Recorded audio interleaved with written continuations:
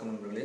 நான் உங்கள் அன்பு நண்பர் ஆர்ஜி கணேஷ் பேசுகிறேன் பஞ்சபட்சியில் வந்து ஐந்து தொழில் பார்த்து பார்த்தீங்கன்னா அந்த ஐந்து தொழிலுக்கும் நம்ம முன்னோர்கள் வந்து ஒரு மதிப்பெண் வச்சுருக்காங்க. எந்த இதில் வந்து பண்ணும்போது எவ்வளோ மதிப்பு கிடைக்கும்ட்டு அரசு தொழில் பட்சிகள் செய்யும்போது நீங்கள் வந்து உங்கள் பட்சிக்குரிய உங்கள் ராசிக்குரிய பட்சி நட்சத்திரக்குரிய பட்சி வந்து அரசு தொழில் செஞ்சுட்டு இருக்கும்போது நீங்கள் வந்து ஒரு காரியம் செஞ்சீங்க அப்படின்னா நூறு பர்சன்டேஜ் வெற்றி கிடைக்கும். அதுக்கப்புறம் ஊன் தொழில் செஞ்சுட்டு இருக்கும்போது செஞ்சீங்க அப்படின்னா ஒரு எண்பது பர்சன்டேஜ் வெற்றி கிடைக்கும்.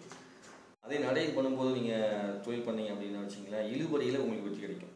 ஒரு நாற்பது ஐம்பது அறுபது பர்சன்டேஜில் வந்து இழுவில் வெற்றி கிடைக்கும். சிலது வந்து பார்த்தீங்கன்னா ஊனுக்கு வந்து தொண்ணூறு பர்சன்டேஜ் போட்டிருப்பாங்க நடைக்கு வந்து எண்பது பர்சன்டேஜ் இழுபறியில் வெற்றி கிடைக்கும்னு போட்டிருப்பாங்க. சரிங்களா? ஸோ அரசு தான் வந்து சிறப்பு. நடை வந்து அதுக்கு அடுத்து ஊன் அதுக்கு அடுத்து நடை வந்து அதுக்கு அடுத்து. அதுக்கு அடுத்து போது இழுபறி. நடை எப்படி நடந்துட்டு போகிற மாதிரி இந்த பக்கம் அந்த இடத்துல இழுத்து அதுக்கப்புறம் சரியாகும். இதில் துயில் இருக்குது துயில் வந்து ரொம்ப கொடுமையானது. தோல்வி தொண்ணூறு பர்சன்ட் தோல்வி.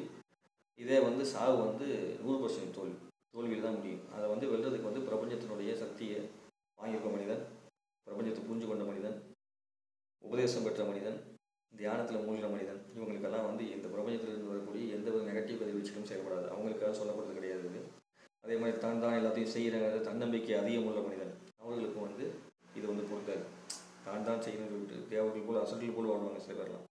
உங்களுக்கு இயற்கையாகவே பிறவிலே அந்த மாதிரி இருக்கும். இது வந்து மற்றவர்களுக்கு இந்த பிரபஞ்சத்தில் கலந்து பிரபஞ்சத்தோட சக்தியை எடுத்துக்கொள்ள முடியாத சாதாரண மனிதர்கள் நிறைய பேர் இருப்பாங்க. அவங்களுக்கும் ஒரு வழியாக கட்டுறதுக்காக தான் முன்னோர்கள் எழுதி வச்சாங்க ஏன்னா அவங்கெல்லாம் கூட பஞ்சபட்சி பற்றி ஃபாலோ பண்ணி இருந்தவங்களாம் நிறைய பேர் இல்லை. எழுதினவங்களே சில பேர் ஃபாலோ பண்ண மாட்டாங்க. ஏன்னா அவங்ககிட்ட வந்து வேற மாதிரி செயல்படும் அவங்களுடைய இயக்கம்லாம் எழுதுனது எதுக்காகனா தன்னை போல் சக்தி இல்லாத மனிதர்கள் அது உபயோகப்பட்ட மாதிரி சரிங்களா? இதுதான் பஞ்சபட்சியில் இந்த சொ- அந்த தொழில் செய்யும் போது என்னென்ன வெற்றி கிடைக்கும் அப்படிங்கிறத பற்றின ஒரு சிறு விளக்கம். நன்றி.